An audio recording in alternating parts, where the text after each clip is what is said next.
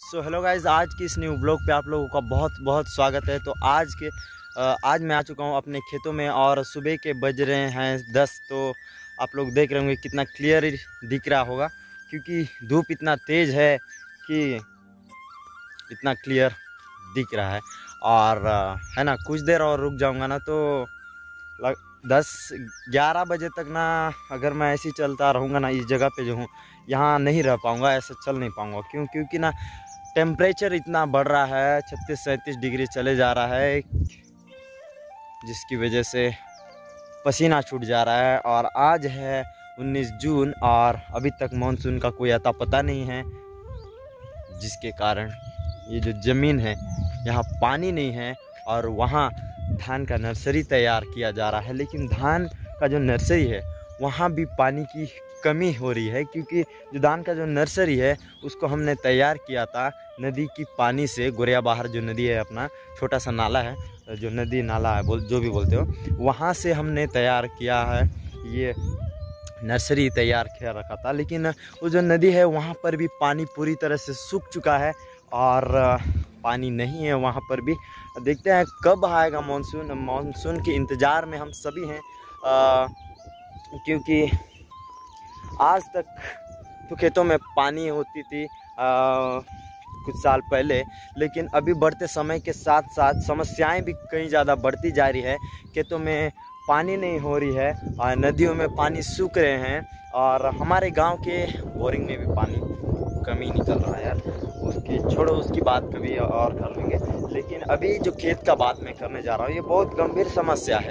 आ, ये छोटा मोटा समस्या नहीं है गौर कीजिएगा क्योंकि पहले के जो समय में धान की जो खेती, जो पारंपरिक जो खेती है अपना, जो बार, बरसात के मौसम में जो हमारे छत्तीसगढ़ में जो धान का खेती जो करते हैं हम तो समय पे होता था सिस्टमेटिक से होता था, समय पे लोग बीज बुआई करते थे और समय पे धान कटाई होता था, समय पे धान रोपाई होता था, सब चीज़ सिस्टम से होता था क्योंकि समय पे सब कुछ होता था, समय पे बारिश आता था, सही मात्रा में आता था, सही जितना होना चाहिए। बारिश उतना होता था, लेकिन अभी बढ़ते समय के साथ साथ बारिश सही समय पे आ नहीं रहा है और जिसकी वजह से हम किसान कहीं ज़्यादा परेशान हैं, क्योंकि हमारा जो पेट चलता है, हमारा जो परिवार चलता है, ये खेत ही है, ये जो धरती माता है, इससे ही हम चलते हैं यार। जब खेत नहीं, खेत, जब खेत पे खेती नहीं होगा फ़सल नहीं होगा तो खाएँगे क्या? है ना? और किसान तो पूरी तरह निर्भर रहते हैं खेती पर, है ना? तो जब बारिश होगा नहीं तो खेती कहाँ से होगा? और जब फ़सल होगा नहीं तो खाएँगे क्या, है ना? तो आपको क्या लगता है, ये जो समस्या है, किस वजह से हो रहा है? अपनी राय मुझे कमेंट करके बताना ज़रूर से। तो मेरा मानना ये है कि कहीं ना कहीं हम मानवों का ही, हम लोगों का ही गलती है।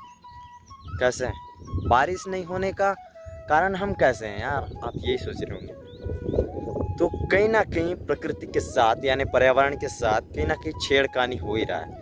अभी हाल ही में हसदेव जो जंगल है, वहाँ जो जंगलों की पेड़ों की जो कटाई हुआ है, ये तो हसदेव क्षेत्र का ही है। लेकिन बाकी ऐसे कई क्षेत्र है जहाँ पेड़ों की कटाई अनगिनत होते जा रही है और न सिर्फ़ पेड़ों की ही कटाई हो रही है, बल्कि जल भी गंदे हैं, ज़मीन भी गंदा है और पेड़ पौधे भी ऐसे कट रहे हैं। यानी लापरवाही पे लापरवाही हम इंसान करते ही जा रहे हैं और कोसते हैं ऊपर वाले को। क्यों? भाई, ऊपर वाले ने हमें सही समय सिस्टमेटिक से हमें सब कुछ दिया है, लेकिन हम उस चीज़ का उपयोग सही समय सही तरीके से हम कर नहीं रहे हैं। कैसे? क्योंकि प्रकृति को हम छेड़खानी करते ही जा रहे हैं ऐसे। पर्यावरण को दूषित तो कर ही रहे हैं और कोसते हैं ऊपर वाले। तो गलती किसका है? हम सभी का है। तो हम सबका फ़र्ज़ है कि आने वाले समय को अगर हमें अच्छा बनाना है अच्छा देखना है आने वाले पीढ़ी को पीढ़ी को आ, सही राह पे ले जाना है तो हमें बदलना होगा और अपनी प्रकृति को बचाना है तो मानव सभ्यता को बचाना है तो अपने आप को बदलना होगा, तब जाके हमारा देश, दुनिया और ये पृथ्वी पूरा बदलेगा।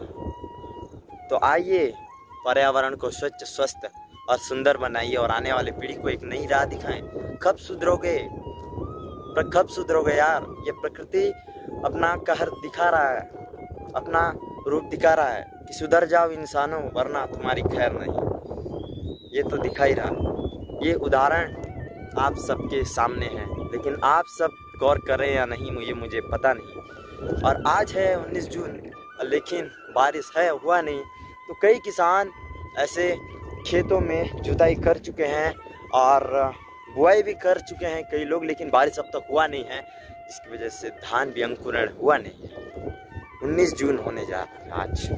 और कई लोग तो हमारे क्षेत्र में जो नदी है, नाला जो है गुरे बहार नदी, वहाँ के जो पानी था थोड़ा बहुत, उससे जो सिंचाई करके अपने खेतों में नर्सरी तैयार कर चुके हैं धान, लेकिन उस पर भी अभी पानी का कमी होने जा रहा है, क्योंकि जो नदी है, उस पर पानी हो चुका है पूरी तरह से ख़त्म। मानसून आएगा समय पे, ये इंतज़ार था, लेकिन अब तक आया नहीं, है ना? कई किसान तो मानसून के इंतज़ार में अपने खेतों को, खेतों में मतलब अभी जुताई तक नहीं किए हैं, खेतों में खाद बिखरे नहीं हैं, हल चलाए नहीं हैं, क्योंकि अभी बारिश होगा नहीं होगा, उन्हें शंका है कि इस साल क्या होगा। बारिश होगा नहीं तो हम खाएँगे क्या? ये सोचिए। तो यार, सुधर जाओ इंसानों। जब तक सुधरोगे नहीं भाइयों और बहनों, हमारे देश के, हमारे पृथ्वी के, हमारे जो मानव सभ्यता के जो लोग सभी सुधर जाओ भाइयों, ये सब हमारा ही कहीं ना कहीं दुष्कर्म है, जिसका हमें फल मिल रहा है। समय पर बारिश हो नहीं रहा है, पानी की कमी हो रहा है। अनगिनत दुष्कर्म हम करते ही जा रहे हैं।